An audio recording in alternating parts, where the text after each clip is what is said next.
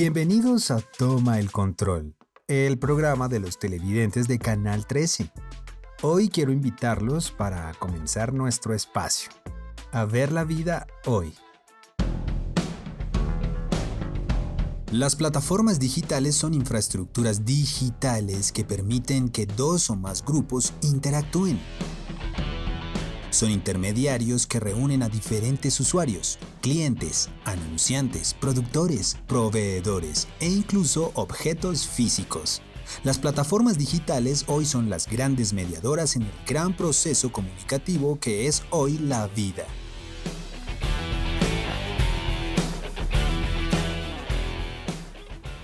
Una plataforma digital es un entorno en el que los usuarios podemos llevar a cabo tareas, gestionar actividades, colaborar con otros usuarios e interactuar por medio de herramientas y funcionalidades que ofrece dicha plataforma. Fundamentalmente sirven para dos cosas, promover negocios y todas sus colateralidades e interactuar mediante el servicio que cada una de estas provee. Hay plataformas sociales, musicales, de juegos, streaming, lectura, video, mensajería, podcast y muchas más.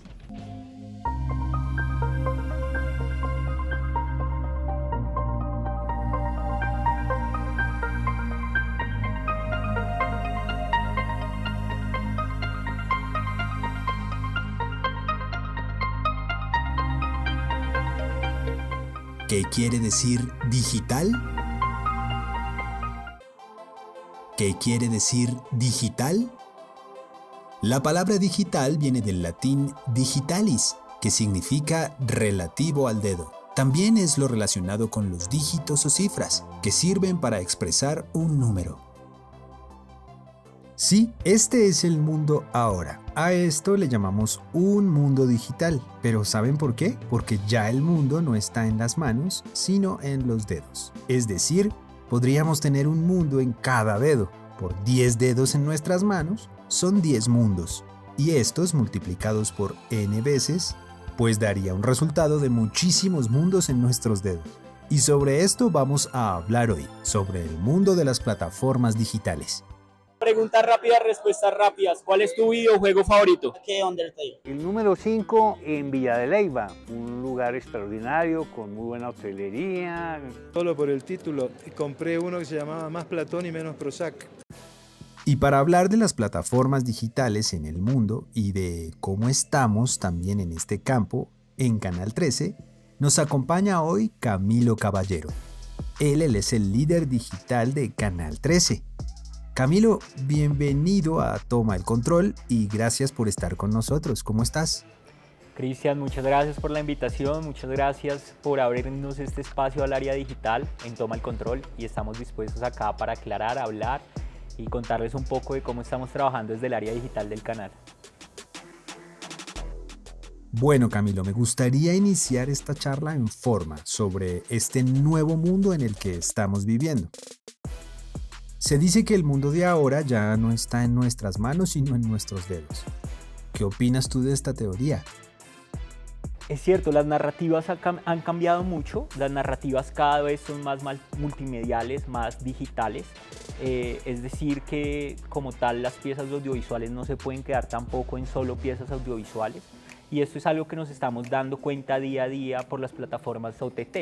Eh, es, muy difícil que un canal de televisión no piense en ser transmedial, no piense en ser multiplataforma. Si un canal de televisión no piensa así, está en la tendencia a desaparecer. Entonces la idea es que abrir las posibilidades y, hacerle entender a las personas que cada plataforma funciona de una manera diferente. No es lo mismo las narrativas como tal para televisión que las narrativas digitales.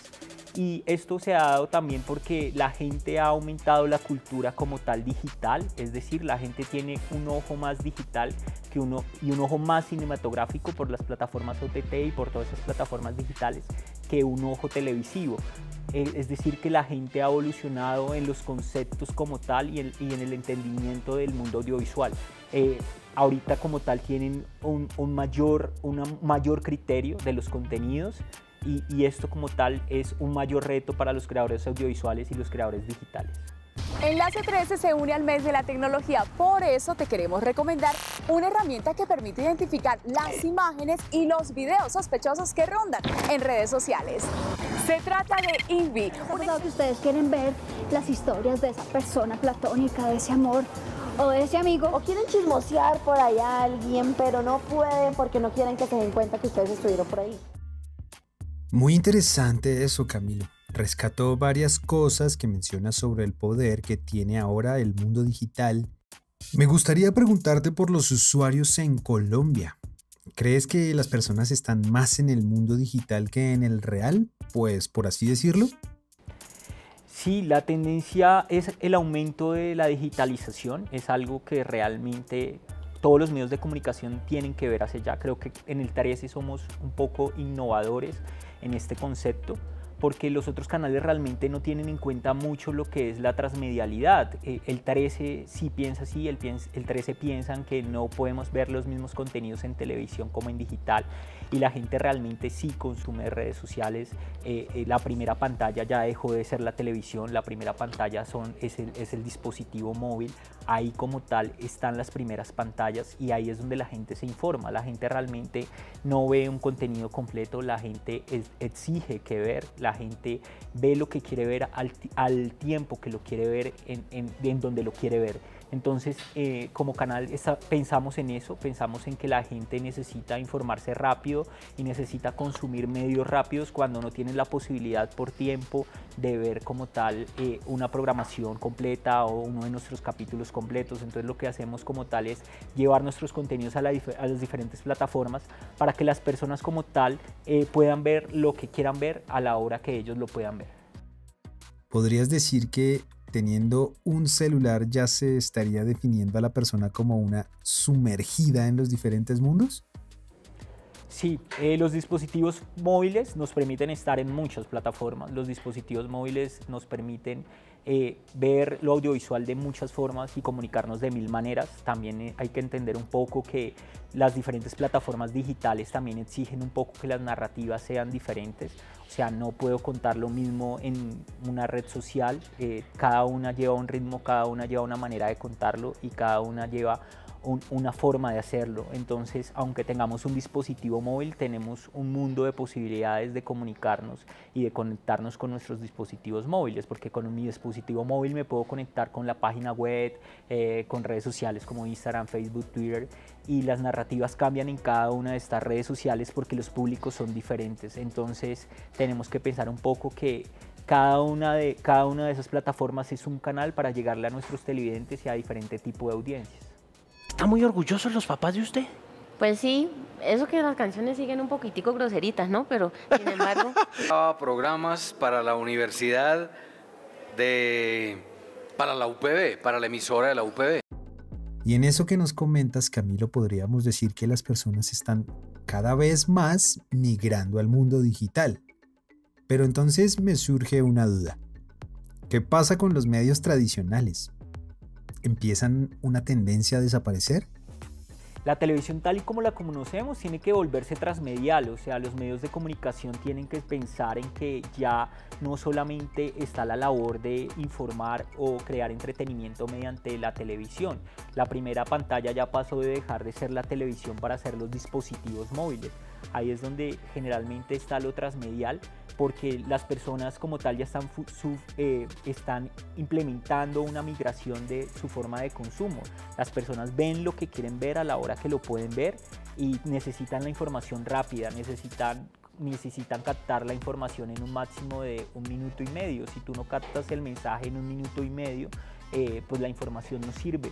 Entonces los medios tradicionales no van a desaparecer, sino que tienen es que transformarse y ser más transmediales, que es lo que estamos haciendo desde el 13, entender un poco que las narrativas cambian y de que las personas no tienen tiempo de consumir eh, quizás un contenido largo, entonces pueden migrar a otras plataformas a ver estos contenidos, a informarse cómo se produce o qué pasa o de qué se trata este programa. Camilo, ya para ir cerrando nuestra charla, me gustaría preguntarte, ¿quién controla o quién regula las plataformas digitales? ¿podemos encontrar alguna norma?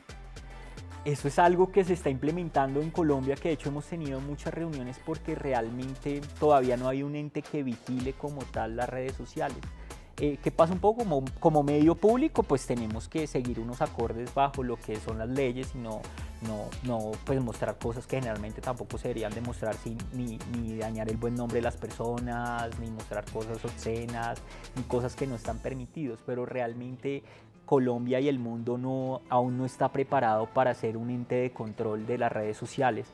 Quizá los mismos entes de control en estos momentos son las mismas redes sociales y las mismas plataformas, pero nosotros como medio de comunicación tenemos una labor que es siempre informar y entretener de buena manera como tal, resaltando la cultura, resaltando la región, eh, que es lo que nos interesa a nosotros. Entonces eso, es, un, eso es un, un problema quizás porque eh, todavía los países, muchos países del mundo no están preparados para las redes sociales, para la digitalización. Entonces estamos sufriendo, pues no sufriendo, estamos cambiando, estamos como tal implementando unas nuevas narrativas digitales y el mundo se está preparando para ello. Entonces eh, nos basamos en el buen concepto de, cuidar la imagen eh, de las personas, del país, de la sociedad para, para llevar un mensaje, muy, muy buen mensaje. Bueno, ya te iba a despedir, pero a causa de lo que me estás diciendo, me nace una nueva duda y esta sí te prometo que es la última por hoy. Me gustaría saber sobre las plataformas de Canal 13. ¿Qué viene para estas? ¿Tienen algún cambio? Ya estamos cambiando muchas cosas, estamos implementando nuevos formatos, eh, continuamos con un formato muy específico que nos ha ido muy bien que se llama Reseteando, donde Z, nuestro periodista, tiene la misión de viajar por cada una de las regiones del 13 para hacer conocer esta región. Eh, también estamos implementando eh, temas por lo que se interesa nuestro, nuestro público, que son los videojuegos. Estamos eh, hablando del Master Crispy, que es, es, un podcast, un video podcast especializado en videojuegos. Estamos también hablando de temas específicos como astronomía, las personas se, se, se, especifican mucho astronomía, estamos resaltando la región con cada uno de los tenemos un representante por cada departamento hablando de palabras eh, de esta región, de, de, costumbres de esta región. Estamos también hablando como tal de podcast, video podcast, eh, estamos hablando también, nos vamos para Twitch y nuestra página, ustedes van a ver nuestros televidentes que va a sufrir un cambio, pues estamos cambiando eh, para mejorar. la idea es que vamos a ser más multimediales, cada departamento, nuestra misión es que tenga eh, un espacio dentro de la página web del Canal 13 para que desde allí como tal ellos sientan que, hacen parte del 13 y le hagas informar esas, buenas noticias del 13.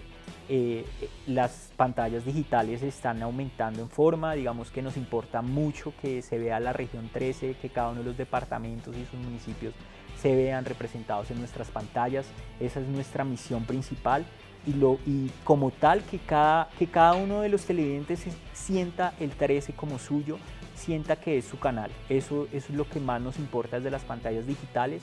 Y la idea también es que como tal somos transmediales, no van a ver eh, los mismos contenidos en la televisión como en lo digital. Camilo, muchas gracias por estar hoy con nosotros y por compartir también esos nuevos cambios que el área digital y sus plataformas están teniendo. Muchas gracias y siempre bienvenido a Toma el Control. Cristian, muchas gracias y una invitación a los televidentes de Toma el Control a que nos sigan en las redes sociales, a que estén pendientes de todos los contenidos que se hacen desde el área digital. Eh, son, son para ustedes y están hechos con todo el cariño y la idea es que ustedes se vean representados en todos los contenidos del 13. Muchas gracias, Camilo. En tecnología, ¿qué es un sistema digital? En tecnología, ¿qué es un sistema digital? Un sistema digital es un dispositivo destinado a la generación, transmisión, procesamiento o almacenamiento de datos y de señales digitales. Después de nuestra corta pausa me vine a encontrarme con Luisa Ramírez. Luisa es la asesora de contenidos de Canal 13 y hoy hablaremos con ella sobre las plataformas digitales y las producciones que hacen parte de esta línea. Gracias por estar con nosotros, Luisa, ¿cómo estás? Hola Cristian, qué gusto estar de nuevo por aquí contigo este nuevo año que viene cargado de un montón de pues, cosas buenas para la audiencia, novedades, para que compartamos en este espacio. Déjame decirte que este año te he visto trabajando muchísimo más fuerte y me gusta eso porque quiere decir que tenemos más proyectos y nuevas cosas en el canal. Pero antes contémosle a nuestros nuevos televidentes cuáles son tus funciones aquí en Canal 13.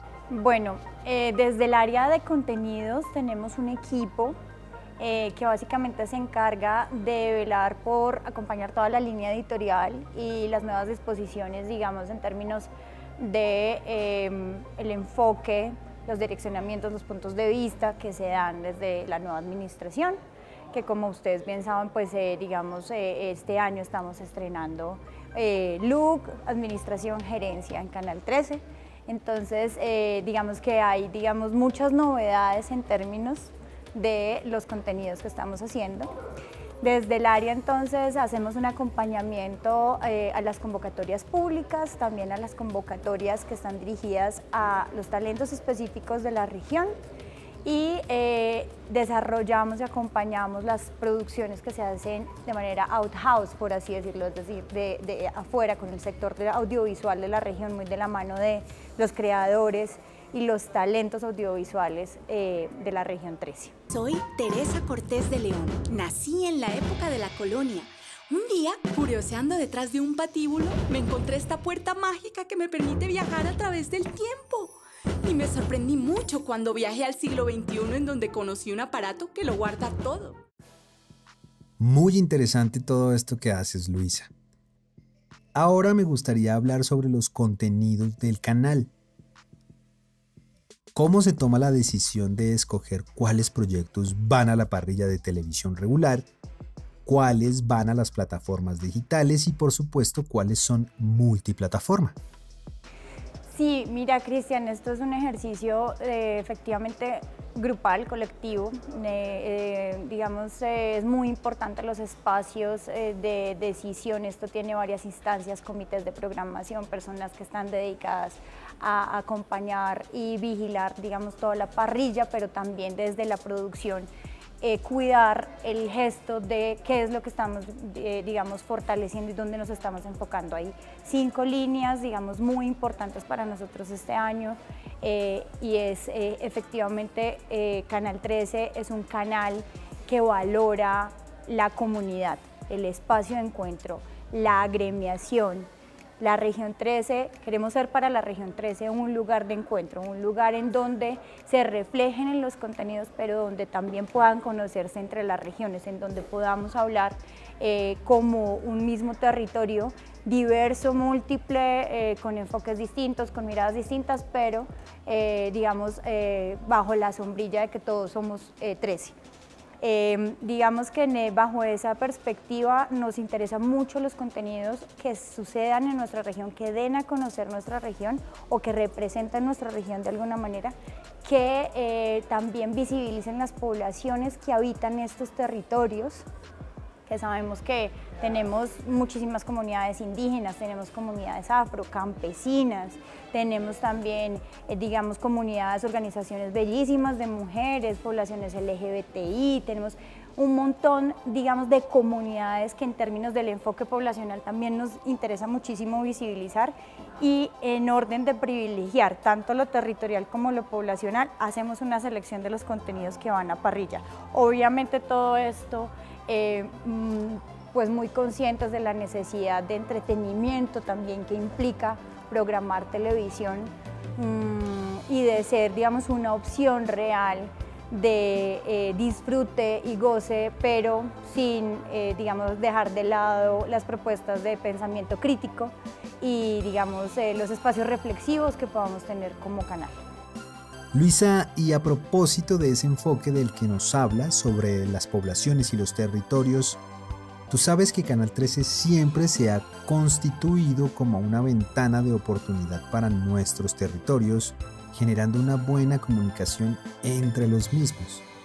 Pero me gustaría saber cómo se hace para incluir esos contenidos de las regiones en la programación de Canal 13. Pues Cristian, justamente este año nosotros vamos a enriquecer todavía más esa apuesta a la que le venimos apuntando eh, desde hace varios años y es que con franjas como Salió el Sol, que es nuestra nueva franja, este va a ser un espacio con un énfasis importantísimo en las regiones, en donde queremos generar diálogos. Tu pregunta es muy interesante porque justamente es cuál es ese reto que tenemos de que los departamentos y las personas que están en los departamentos puedan generar esos espacios de confluencia. Justamente queremos que estos contenidos que se creen, en donde vamos a estar viajando y estando en las regiones, podamos generar desde ahí una participación con el televidente que está al otro lado de, la pantalla, y con los presentadores y los invitados que tenemos frente a la pantalla. Entonces estamos generando, estamos haciendo unas apuestas muy importantes en términos de eh, la televisión interactiva. Esto también está pasando con nuestra franja de Inbox 13, que es también de lunes a viernes de 4 a 7 de la tarde. Estamos apostándole duramente, digamos, a este tipo de, televisión en donde la cultura participativa es, eh, digamos, la línea más fuerte del enfoque porque nos interesa justamente en la lógica de crear esa comunidad, eh, valorar por encima de todo ese diálogo entre las personas. Muy interesante, Luisa.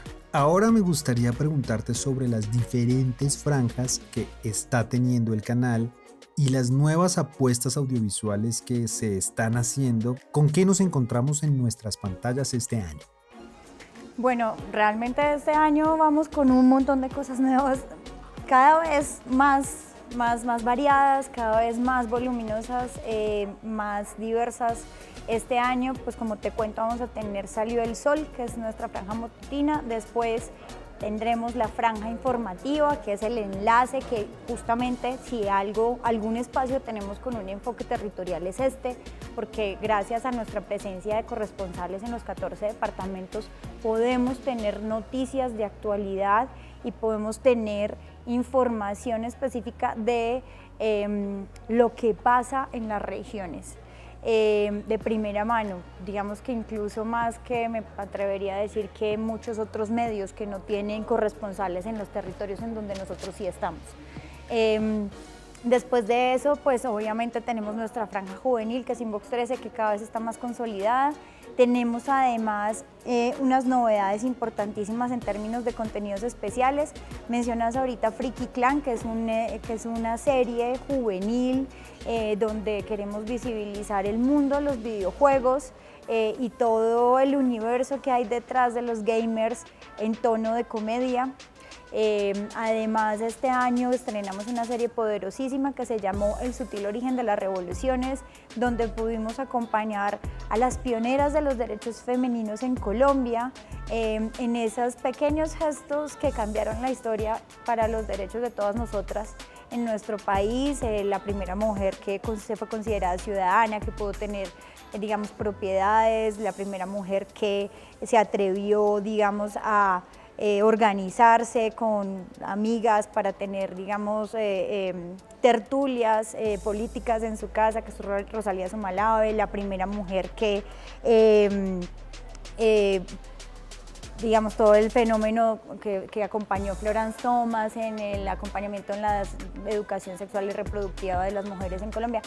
Es una serie maravillosa que la encuentran por YouTube, de hecho están ya todos los capítulos arriba y sobre todo, digamos, uno de los plus más interesantes de este, de este contenido, además de tener un proceso histórico de investigación muy fuerte, es que eh, lo hicimos de la mano del talento de la gente del Teatro Petra, que es eh, una compañía maravillosa, que le dio, le aportó todo el sentido a esto. Esto fue una idea original de Sandra Molano, desarrollada gracias a la convocatoria de Semillero 13 de Canal 13. Eh, además de eso, ahorita en junio vamos con Guardaparques por Naturaleza, que es una serie hermosa, un docu-reality, donde vamos a estar en siete de los parques nacionales naturales de Colombia. Em, conociéndolos desde adentro, de la mano de los voluntarios que regalan su tiempo y su amor por la naturaleza durante meses para eh, proteger estos espacios y cuidarlos. Em, tenemos además eh, Magnífica Región 13 que este año viene maravillosa, es un gran espacio para conocer nuestra región, eh, más dinámica que nunca, con mucha chispa, con mucho humor, acercarse a lo popular de nuestras regiones, a todos estos gestos que nos atraviesan desde eh, la idiosincrasia, desde la gastronomía, desde el turismo, desde la manera particular en que somos y ya hablamos en cada uno de nuestros departamentos. Em, además de eso, pues tenemos nuestra franja habitual de películas, que es a la 13, que viene este año, súper cargada, súper chévere, cine para ver los fines de semana. Em, bueno, tenemos un montón de ofertas y pues mucha, mucha, mucho enfoque regional en medio de todo eso. Estas dos líneas que quiere manejar el canal son dos corrientes que en su desarrollo se van uniendo cada vez más y es una realidad que no podemos ocultar. Luisa, quiero de verdad darte las gracias por estar con nosotros, por regalarnos un poco de tu tiempo y hablar con nuestras audiencias. Cristian, como siempre un gusto, hacía mucho rato no me invitabas a tu programa, por favor, no me olvides. Claro que sí, sé que nos vamos a ver otra vez. Gracias. Claro que sí, un abrazo, gracias. Hoy podemos ver las nuevas sorpresas que tiene Canal 13 para toda nuestra audiencia. Gracias a Camilo y a Luisa, nuestros invitados, por compartir con nosotros hoy todo su conocimiento y por ayudarnos a entender un poco más sobre los nuevos mundos que cada uno de ustedes está teniendo en sus dedos. Recuerden siempre que nos pueden escribir al correo defensor@canal13.com.co. Nos vemos luego. Chao. 13. Somos más de lo que quieres. Colombia, potencia de la vida.